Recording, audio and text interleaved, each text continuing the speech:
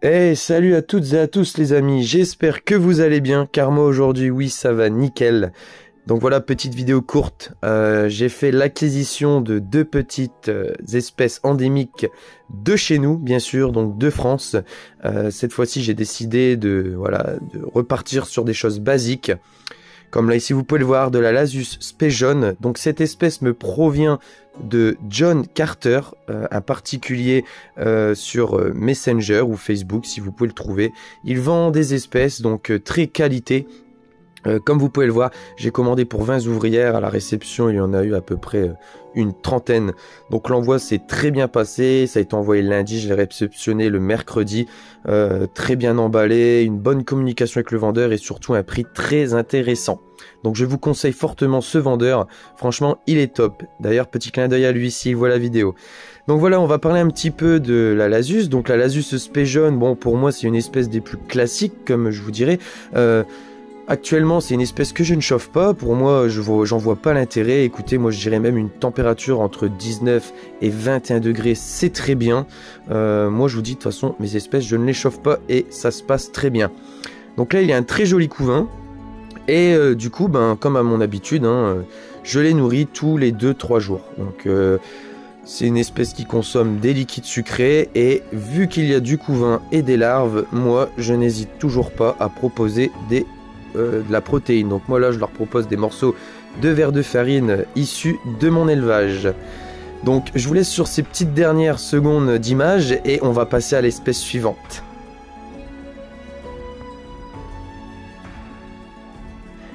Et ici, on se retrouve les amis avec une magnifique Manica rubida, donc une jolie espèce de chez nous. Euh, si je dis pas de bêtises, c'est une espèce qui se rapproche le plus des Myrmica. Euh, donc euh, moi j'adore, hein, petite fourmi rouge de chez nous qui pique. J'ai peut-être un problème justement avec les fourmis qui piquent, mais bon. rien de grave, c'est pas une espèce dangereuse hein, proprement parler comme certaines de la chaîne. Et voilà, donc c'est une espèce qui me provient de chez Fourmi euh, pareil sur Facebook. Si jamais, n'hésitez pas à aller le voir, ils vendent, de, très chouettes petites espèces et pareil à des prix attractifs. Donc pareil, l'envoi c'est très bien, très, très bien fait. J'ai réceptionné ça très rapidement. Euh, il y a une bonne communication aussi avec ce vendeur.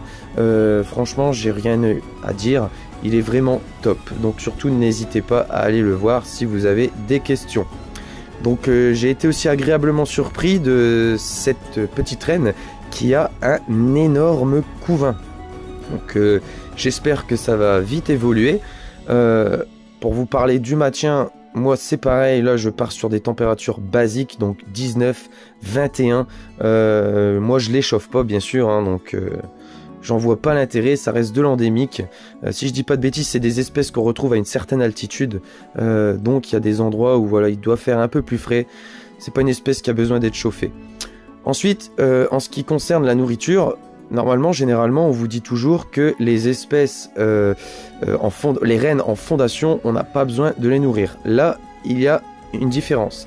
C'est que cette espèce est semi-claustrale. Donc c'est une espèce qui va sortir pour aller se nourrir et ainsi nourrir aussi le premier couvain et etc jusqu'à temps que les premières ouvrières arrivent. C'est un point très important avec cette espèce. Donc là, moi là actuellement, c'est pareil. Elles ont une petite gamelle avec du liquide sucré, euh, une petite gamelle avec de l'eau. Donc je la vois souvent sortir et euh, Bon, c'est assez cool d'observer une reine euh, sortir pour, euh, pour se nourrir.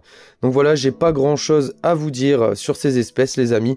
Euh, on fera peut-être un suivi sur l'évolution d'ici peut-être bon, quelques semaines. On va attendre 2-3 semaines, voire peut-être un mois pour voilà, vous faire montrer vraiment une, une réelle évolution. Et puis, euh, bah écoutez les amis, en tout cas, j'espère que ça vous a plu. Et euh, on va rester un petit peu sur les images. Et moi, je vous dis à très vite pour une prochaine vidéo. Allez les amis, ciao ciao, c'est en story.